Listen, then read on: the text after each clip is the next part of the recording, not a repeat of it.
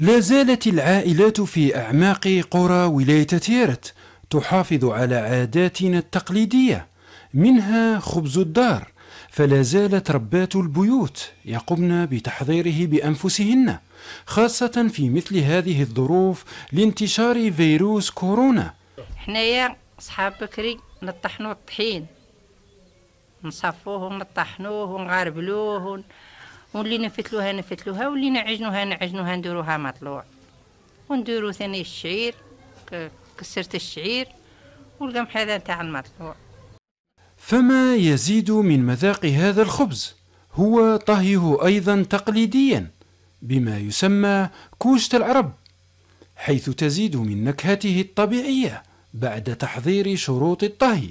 النوبة الأولى كي نصنعو نديرو حدايد نرموهم فوق فوق ال- الجمرة نرمو حدايد وعلى الحدايد نديرو نديرو ديس ولا حلفة ولا غير القصب ولا والدوم ولا دوم اللي نصنعية ونرمو الكسرة.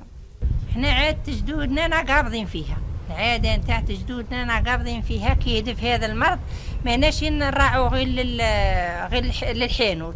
لازم نصنعوا الحاجة اللي بيدينا نقضوها. ما نشروش الكسرة هذه كاع من اللي جات هذا هذا ال- المرض ها هوينا غير نحافظوا على أرواحنا.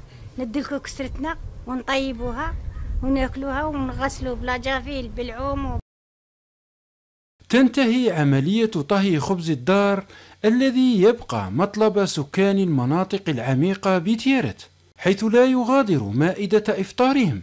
في هذا الشهر فيزيدهم تمسكا بعاداتنا في زمن الكورونا الذي يبقى دعاء أمهاتنا مستمرا لرفع هذا الوباء. إن شاء الله يبعد ولادنا وبلادنا. إن شاء الله يا رب العالمين. الله يبعد علينا البلا والوبا. إن شاء الله يا رب العالمين.